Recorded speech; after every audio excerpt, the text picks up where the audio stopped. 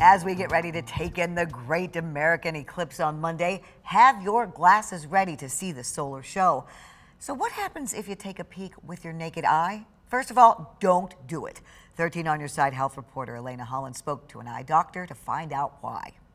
It's a sight you don't see very often, but a sight you don't want to see without the help of special eclipse glasses. There is no safe time at which to look at it here. Dr. Matthew Bohr is an ophthalmologist with the University of Michigan Health West. He says staring directly at the eclipse without eye protection will damage your eyes. It really can be just kind of an instant. It can be more tempting to look at the sun during an eclipse, but it is one of the worst times to do the damaging peek.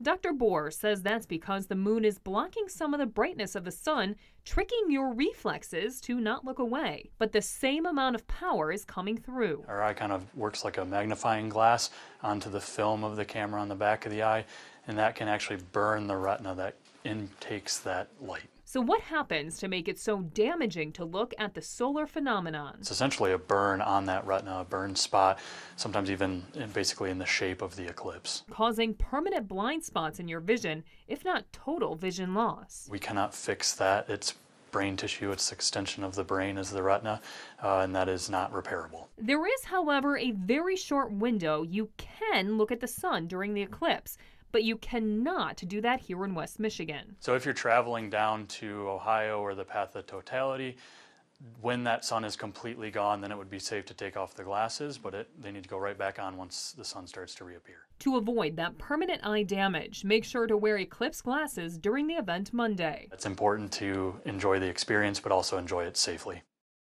Elena, what kind of glasses do you need? Well, you'll need to get special solar eclipse glasses, you know, something like this, and they are vetted by the American Astronomical Society, the retailers that sell them. But the good news is you can get them at most places, and they can be as cheap as, you know, like two bucks.